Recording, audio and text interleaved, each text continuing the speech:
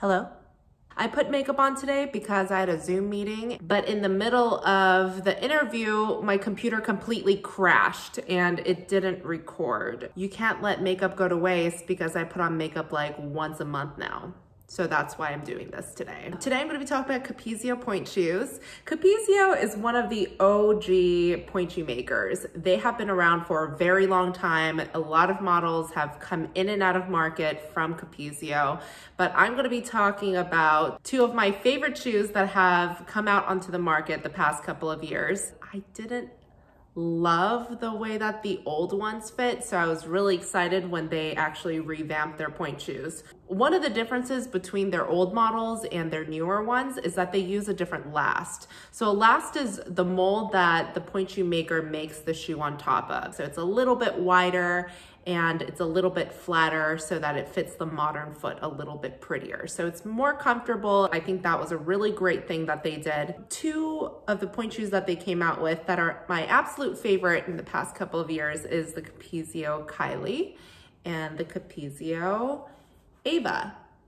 I'm going to talk about the Ava first. I already did a video talking about this one, so you can go see that one too. So both of these models, they're for pretty square feet. Um, they have a wider platform so that it's easier to balance and it's really flat right here. So it, there's not a lot of tilting going on in this shoe. And if you look at the fabric here, they cut down this fabric pretty low on the side.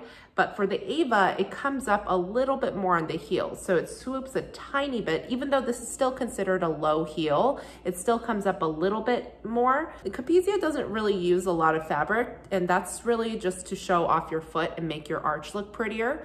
So they do that with the Capezio Ava and the Kylees. They generally use less fabric than a lot of other manufacturers. Um, the inside of the shoe is made out of this plush material. So it's kind of um, soft. It's meant to grip your skin and your tights a little bit more. So it stays on a little bit better. But the downside to that is that it's kind of difficult to sew because it's so thick. It's a lot easier to just sew through the casing, the satin, rather than this like really plush material here. But you have to make sure that you're not going through the elastic because if you get the elastic caught while you're sewing, then you can't pull the drawstring anymore.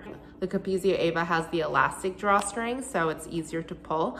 Um, if the shoe is fitted well though, you really shouldn't have to pull your elastic. If you pull the elastic too tight, it might cut off your Achilles, so you wanna be careful with that too.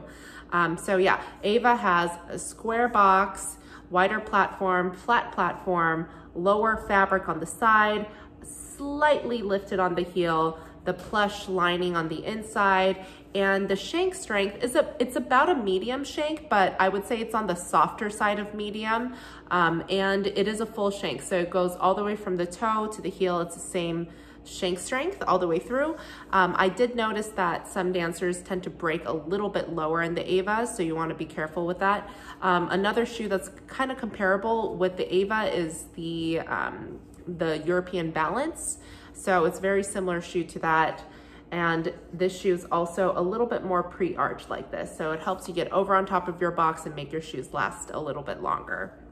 Now the Capezio Kylee is also very similar to the Ava, but with a couple different things. So first of all, the Kylee is a little bit narrower and slightly lower profile. So if you look at the shoes side by side, this is the same width, but you can see that the Ava is a little bit wider than, than the Kylee. So it's a little bit lower here and it's a little bit narrower in the box, but it's still quite um, square. So it has a wider platform and uh, the main difference between the Kylee and the Ava is that the Kylees are a lot softer. There's a lot less glue in this, so um, it does tend to break even lower, but if you have trouble getting over on your pointe shoes, this is great. Um, this is still a full shank though, so same shank strength from the toe to the heel, but it is a lot softer. The first version of the Kylees that came out, it came in this cotton drawstring. I didn't love that because whenever you have a cotton drawstring, you can pull it and then there's no give in the Achilles, so I didn't like that as much, but the second batch came in with the drawstring, so they did fix that. And it also has that same soft material on the inside. Um, the fabric, I feel like this, uh, the Kylee is even lower than the Ava in terms of just the heel. They don't use a lot of fabric on the side regardless, but the heel doesn't really come up. It doesn't have that slight swoop. It still stays nice and straight. Anyone who doesn't like a lot of fabric in their shoes, Capezio in general is pretty, pretty good with that. Um, this is the regular Ava, and then this is the shank strength. When you look at the serial number, 2.5 is like a medium shank. Uh, if you look at the Kylee, you'll see there's a one, that means it's really soft. And then they just came out with the Ava Strong last year, which is a little bit harder than the Ava right now. And that one will say 0.35. So that means that it's a little bit harder than that. So Ava Strong is pretty similar to the regular Ava. The only difference is that it gets hard up until this point right here, and then it keeps it a little bit softer in the back three quarter, which I love because when you do that, you have a little shelf for your heel to sit on top of. One other thing about Kylee though, sorry, I'm jumping around a bit. Um, if you want to have a comparison in how light the shoe is, the shoe's pretty light. It's one of the softest, lightest shoes on the market. Um, another shoe that's comparable to this would be like ProFlex. So if you've ever had that, the ProFlex is super, super soft and light, and I really like that shoe too. The only difference is that if you see the ProFlex, it's really tapered and it comes out to a very small platform. The, the Kylee doesn't. So Kylee has a wider platform. So if you typically have a really soft shank with a really tiny platform, it's not as supportive. So I really like that this one at least has um, the wider platform. The two things that you wanna be careful with with both of these models is um, that it breaks a little bit lower and if you have problems with your heel slipping off and you need a higher heel, uh, the Capezio Ava or the Kylee, you might have some issues having that stay on. Um, you can also like play around with ribbons and elastic and different types of sewing tricks to keep your heel on if you really love this shoe. But overall, I think it's really versatile. I'm really happy that they came out with this shoe um, because I wasn't a big fan of Capezio pointe shoes for a long time.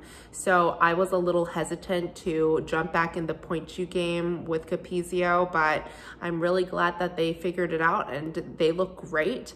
Um, they're super comfortable and I am still taking virtual fittings. So if you are interested in doing a virtual fitting, you can see the link on the description. I hope you guys are all staying safe and healthy. Uh, if you have any questions about pointe shoes or if you want me to do any other reviews about different brands, go ahead and leave that in the comments and I will answer that in my next video. I'll see you guys later.